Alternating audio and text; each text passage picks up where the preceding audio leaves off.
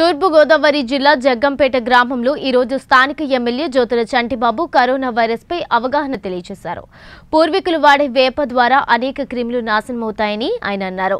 వేప తెచ్చుకుని రెండు రోజులు ఎండబెట్టి వాటిని ఉడకపెడితే దాని ద్వారా వచ్చే వాసన నుండి క్రిములు దరిచేరవని ఆయన అన్నారు. రాష్ట్ర ముఖ్యమంత్రి వైఎస్ జగన్మోహన్ రెడ్డి అధికార యంత్రాంగం కరోనాపై అనేక చర్యలు తీసుకున్నారని ప్రజలెవరూ ఇల్లు వదిలి బయటకు రావద్దని ఆయన అన్నారు.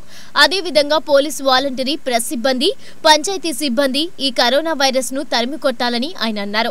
ఈ కార్యక్రమంలో జగ్గంపేట పిహెచ్సి సిబ్బంది స్థానిక MPDO MRO Jaggampeta CI Y Rambabu Jaggampeta SI T Ramakrishna మరియు ఆశా వర్కర్లు వైఎస్ఆర్ నాయకులు బండారు రాజా ఓమి రఘురాం తోట రవి తోట గాంధీ వైఎస్ఆర్సీపీ నాయకులు కార్యకర్తలు పాల్గొన్నారు.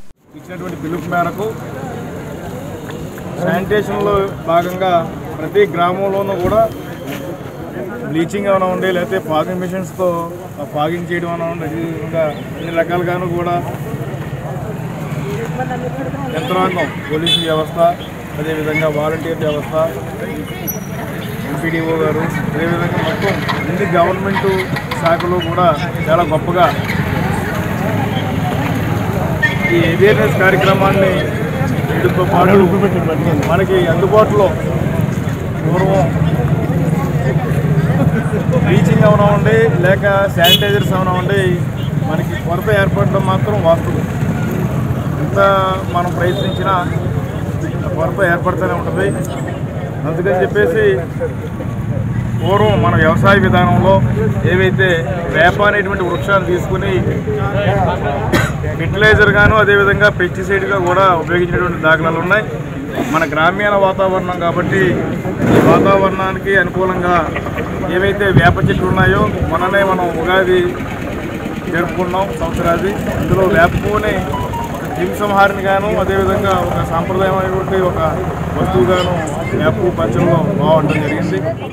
నియోజకవర్గ రిపోర్టర్స్ అందరూ కలిపి ఒక సేవా దృక్పథంతో సమ- సమాజం మీద బాధ్యతతో ఒక సొంత ఖర్చులతో ఏర్పాటు చేసి దానిపై ఏదైతే కరోనా నివారణ అవగాహన ఒక సీడీ చేసి అందరికి ప్రచారం జరుగుతుంది. చాలా మంచి కార్యక్రమం.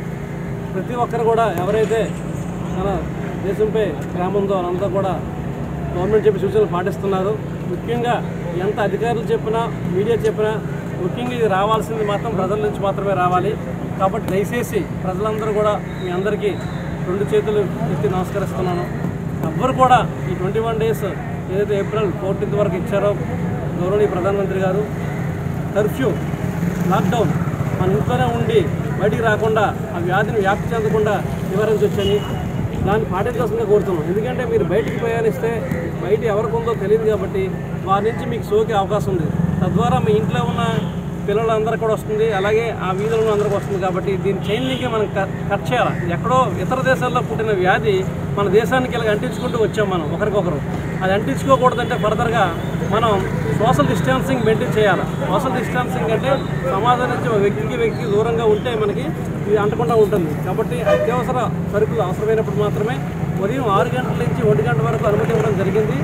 అలా కాకుండా medical emergency twenty four hours ఇవ్వడం జరిగింది కాబట్టి ఈ పేరు చెప్తే అనవసరంగా తిరగడం పిల్లల్ని అలౌ చేయడం చేయకండి దయచేసి.